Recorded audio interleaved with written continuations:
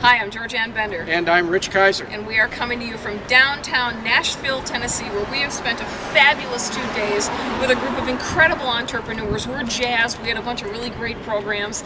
And it's really wonderful to be here in Nashville and be able to spend some time downtown and look at the, the shops and the creativity of the honky restaurants, tonks. the honky tonks, yes, and go in and see some great live music. And we're standing in front of the Ryman Auditorium, which happens to be the birthplace of the Grand Ole Opry. So we're not only surrounded by great music and, and wonderful shops and things to do, but also some fabulous history. You know, we were uh, we just finished a focus group, and we had taken a bunch of customers to a business, and we talked about exceeding a customer's expectations. And what we did is we set them up, right? Yep. We told them that when you go to this business, and it was true, they do far more than anybody else does in their business. And there's a lot of competition around. But we said you can expect what everybody gives you is this much. You're going to get this much from Right. them. And we went out to that place and we dropped them off and we gave them all 10 minutes to walk through and you know just experience it. And we're really excited for them to go through it because we knew that the, the customer service we experienced Perfect. them was top drawer and we knew they were going to get the same cool stuff. And so we had the session. We Yep. brought them back to the focus room here and we said, okay, so tell me, how did you like the business? And the response was almost immediate. They said we were disappointed. Disappointed. How can you be disappointed? The place is awesome. What are you, nuts? And what they said was that you told us that we were going to get this level of service. We only got this level. They let us down a little bit. But then we sent them to their competitors and they got only this level. This is a much lower level. And they said that they were satisfied. Now, wait a minute. I was confused because they said they're disappointed when they got it way up But it here, was better, but they were still disappointed. but they were satisfied down here. Yeah. But the difference between the two, and yet they were still disappointed. And it tells us a lot about your business and what happens in business today when customers have an expectation. When you write a check and you give them an experience, it's so wonderful that what you do is you end up having to deliver that on a consistent basis. Mary Lou Retton said it. She said this year's Olympic gold medal performance will be the next Olympics compulsory routine. routine. And it's not fair, but that's the way it is. So what we want you to do is this. Get a piece of paper and draw a circle in the center of the paper.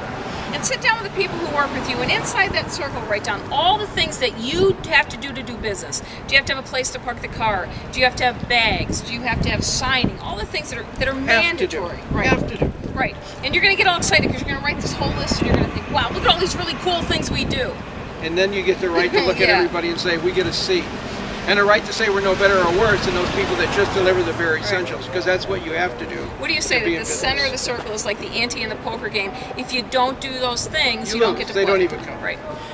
But what we want you to do after you do that with the staff is draw a larger circle around that small circle and say, what is it that we do beyond the smaller circle that makes us really stand out? And you know what? It's measured in millimeters, it's not miles. You don't have to do extraordinary things, just things that consistently thrill the customer and say, you know what, you didn't have to do that, that was really nice, thank you. Those are the things that make people want to come back. Customers like little creature comforts. They like you to do the little things. So you're going to have this inner circle of all the things that you have to do, and then this outer circle of all the cool things that you do that make you really stand out from everybody else. What happens is the outer circle creates the experience. And we always talk about experiences and how I can only get in this experience that you have from you and the people who work in your business because nobody can knock you off directly. Who you are is the personality of the business, right? So those things create the experience. Those things also connect you to your customers. But what happens is once you start doing really cool things in the outer circle, Consistently, right, consistently, they get relegated to the center circle as your competition knocks them off and as you your customers get used to them. So you always have to be thinking of cool things in the outer circle. And what happens then is if they don't get everything that's become now inner circle, they're really disappointed in you, even though you're better than anybody else in the business. And the point is this that to stand out in a competitive marketplace, and that's what we were talking about down here at all the honky tonks. There's a million bars you can choose. The point is, what you have to do is you've got to move higher and then maintain that level and keep going a little bit higher, doing a little bit more. We never get to stand alone. We have got to constantly keep moving the bar up. So you know what we're gonna do right now?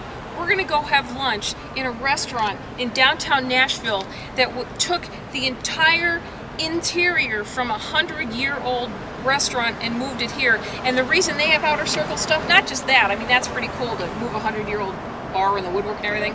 Here's what makes them outer circle.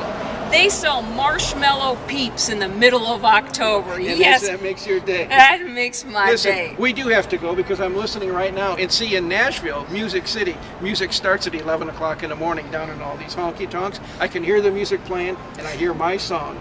We gotta go. You just like to say honky tonk. I. I, gotta go because I gotta go buy out all those marshmallow peeps before they hit the airport. So until we see you next time, I'm George. I'm Rich. Talk to you soon.